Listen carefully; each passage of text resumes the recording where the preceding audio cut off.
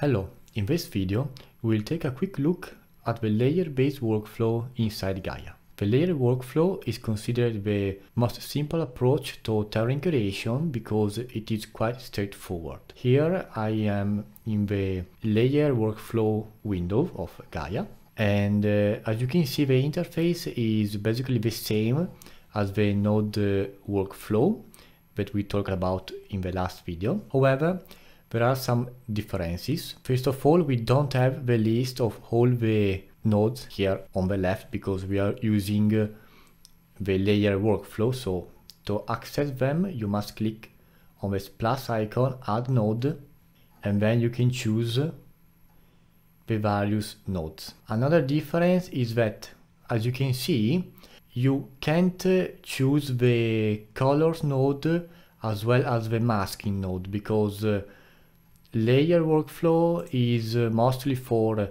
prototyping and quick sketches. You don't have the freedom of the graph node workflow.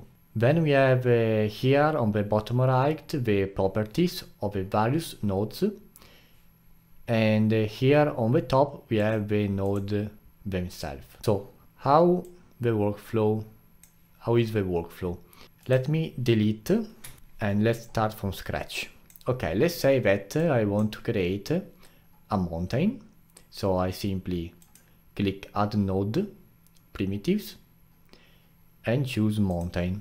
As you can see, Gaea added the node on the top. And if I add another one, let's say that I want to add a displace, it will automatically stack it after the previous one. It's very similar to the Photoshop workflow and it starts, as you can see, from the top to the bottom. So the first one to be elaborated is the mountain in this case, and then we have the displace. And then we can uh, go on and go on uh, by adding nodes. For example, I want uh, terrace, I can do that and change the properties. Okay. And uh, that is it basically. It's very straightforward. You simply stack the nodes on top, uh, one after the other. And of course you can always change the position. Let's say that I want the terrace before the displace. Now I have mountain, terrace, and then displace. Obviously you can still access uh, the presets for the nodes that have them. Like in this case with displace I click on this icon here near displace properties. And as you can see there are presets that you can choose. Now it's uh, working. You can see it on the bottom left. And here it has applied the preset. You can also like in the node uh, graph workflow use the properties on the bottom here to uh, make a modification to your terrain. For example, let's say that I want to clamp my terrain. I click on the clamp and uh, simply move the clamp max. To undo this operation, simply click again on the clamp and here we go. This is the end of this explanation.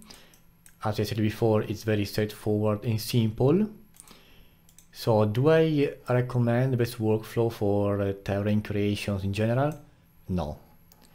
The layer workflow is good if you are short on time or maybe you are not familiar with 3D softwares. In this case, this could be a good way to create a basic shape but in my opinion if you are serious about it you should use the node graph workflow because you have way more nodes like for texturing and it offers a lot of flexibility to create whatever you want. So hope you enjoyed this video, leave a like to support the channel, comments if, if you have any questions, subscribe, and I'll see you in the next one. eyes in the sky, gazing far into the night. I raise my hand to the fire, but it's no use, cause you can't stop it from shining through. It's true.